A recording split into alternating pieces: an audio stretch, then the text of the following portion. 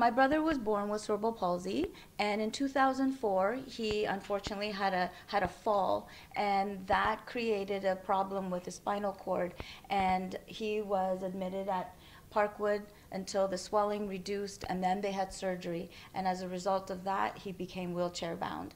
Um, he was still able to stand to some extent with a walker, and um, still able to transfer, and so we were able to keep our two-story home. And he had one little transfer he slipped and he it wasn't even a hard fall but that was enough to bruise his spinal cord again and that's why he was admitted in two, uh, 2015 for the summer um, at parkwood and they did a full assessment and said one more fall he could die. This is called a lift. I don't know if there's another name for it, but that's what we call it. My mother um, struggled helping him in and out using the transfer board, and so I contacted the OT and I asked, "Is there anything we can do?" Because my mother's back's not going to survive, and that's when she said, "Let's try the lift."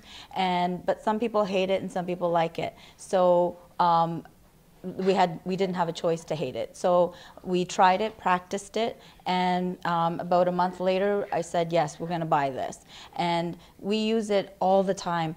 We use it to get him out of bed and back in the bed, but we also use it to transfer him from his wheelchair to his uh, lounger chair, um, and also from lounger chair to the commode. Um, so we use it all the time. So I, on average, I guess six times a day. And uh, um, without this, my mother's back would totally be gone by now. What we need is a room at Participation House. That is the only place that is the perfect fit for my brother.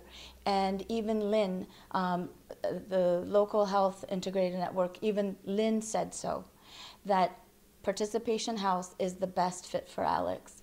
So we have been on the wait list since 2004 and we just need a room because all it's going to take is one more fall, one more anything with my mother, and both of them will be hospitalized.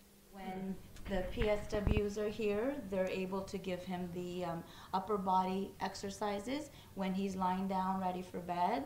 That's when my mother does the legs and stretches and so on. So she suffers from arthritis, um, pain all over, but she never misses a day.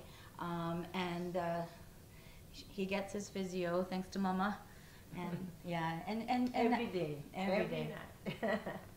not able to keep up with the care that he needs, I called Participation House and I said, please be honest, what is the realistic um, timeline here? Because we can't wait another day. And we were told based on um, the frequency of uh, vacancy, it's not going to happen.